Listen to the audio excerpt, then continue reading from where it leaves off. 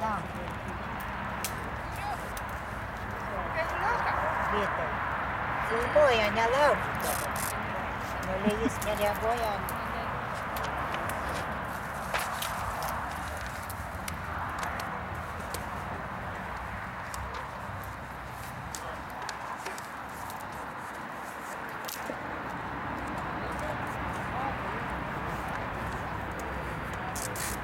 Thank you.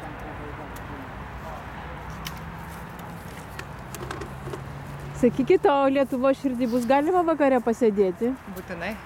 Būtinai. Būtinai ir paskaityti ten tekstas, užėjkit, svarbiausia yra, kol matosi dabar. Ant O čia, o pro kur galim žengti? Ar... Žengit per viršų, po to jau užaugs, tai tada kažkur įėjimas bus.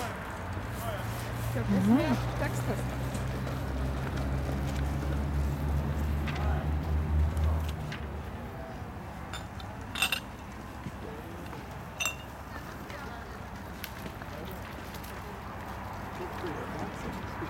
Čia galima perskaityti su viltimi į atgimstančią šviesą ir rytojų kuriant.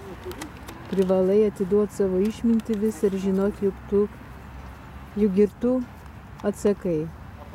Už šią žemę ir jūrą ir giedrą, tiek dangui, tiek žmonių veiduos, kad subręsti tėviniai reikia ne tik laiko ir tavo drąsos. Privalai patikėti, kad galim mes kiekvienas ir mes visi ir mylėti ir saugoti šalį Lietuvos vardu apglėpti. Sakykite, o kas čia šių gražių eilučių autorius? Čia mano mama, Mama, o kaip mama Jo. vardą turi? Nijolė Dudlauskenė. O iš Pilaitės gal? Ne. Bet iš Vilniaus. Iš Vilniaus. O jūs iš kur? Irgi. Jūs čia ir gal dizaineriai? Ne, mes čia tiesiog. Tiesiog, kuriejai. Idėją sugalvojom ir Idėją. leido ją įgyvendinti, davė vietą, kur galima būtų įgyvendinti. Gerai, ateisim pasižiūrėti, kaip jinai žibės, žvilgės naktį. Ačiū.